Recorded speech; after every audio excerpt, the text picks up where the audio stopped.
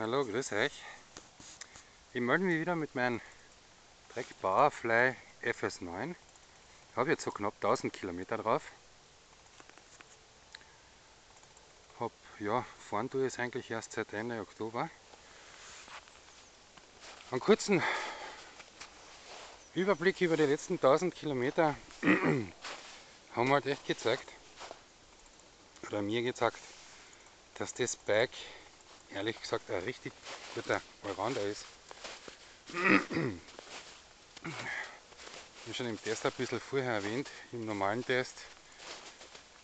Ja, Im Nachhinein betrachtet finde ich es vielleicht ein bisschen schade, dass es nicht die Version ist mit 150 mm Feder weg.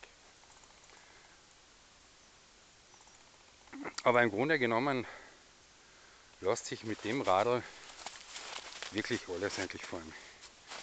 Also Ihr seht ja bei den Videos, die wir so fahren, was wir so fahren. Ich sage einmal so, ich glaube 95% der Biker, die fahren und die ja gern so fahren würden, für die wird eigentlich ein Bike so ein Rounder wie so ein Dreck zum Beispiel, Scott ist auch relativ gut, ähm, würde ich das schon in die engere Auswahl nehmen.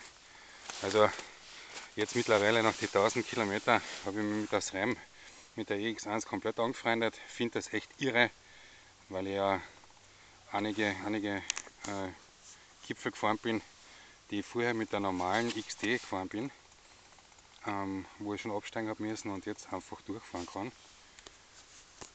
Die Ketten ist eigentlich für die Verhältnisse auch noch immer recht gut.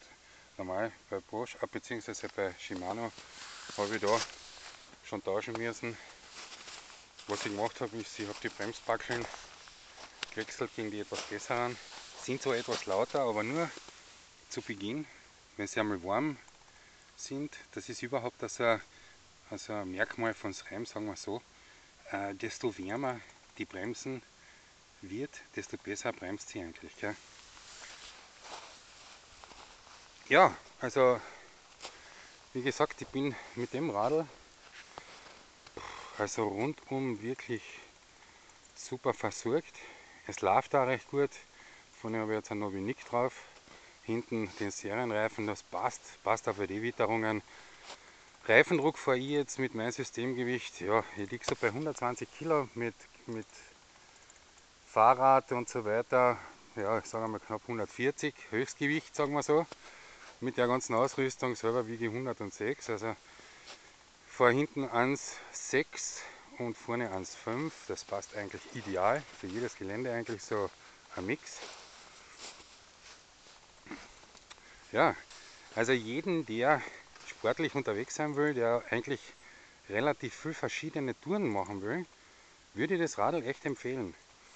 Und zu anschauen könnt ihr es drinnen auch bei unserem Co-Partner in Klagenfurt, bei der Firma Mountainbiker. Die haben auch einiges zum Testen drin, das habe ich damals schon gesagt. Nutzt die Möglichkeit, vorzusammeln mit dem Radl.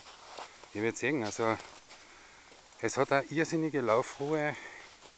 Es ist, also das Gefühl ist irrsinnig gut drauf. Also man merkt sofort, wenn, wenn das Radl irgendwie ja, überfordert wird.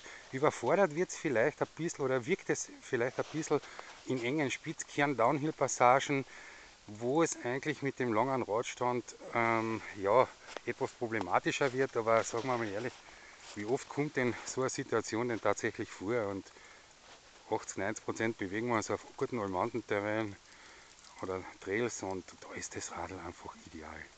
Ja, probiert es aus. Ich finde es einfach klasse. Tschüss, bis zum nächsten Mal. Für euch.